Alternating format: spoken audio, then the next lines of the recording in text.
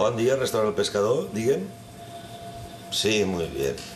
En este restaurante de Alcanar el teléfono no para. Desde que empezó el episodio de terremotos se han multiplicado las llamadas anulando reservas. Aquí se desplaza gente de Valencia, de Barcelona, a comer. Y sí, supongo que afectará un poquito. Y no son los únicos. Los restaurantes sirven menos mesas, los hoteles han bajado su ocupación y en los campings hay menos caravanas. Si esto mm, persistiera en el tiempo y no hubiera ninguna solución al problema, yo creo que nos afectaría la temporada alta, que es lo que todo el mundo intenta proteger. Según Protección Civil, esta semana se han percibido ocho terremotos sin daños materiales, pero para algunos ha podido más el temor.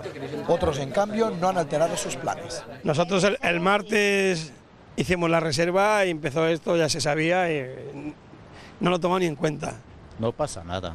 La costa de Castellón y las tierras del Ebro en Tarragona se benefician del turismo familiar de fin de semana. Solo en Peñíscola 2.000 personas viven del sector servicios. Somos modelo turístico, ejemplo turístico en esta, en esta zona y lo vamos a seguir siendo.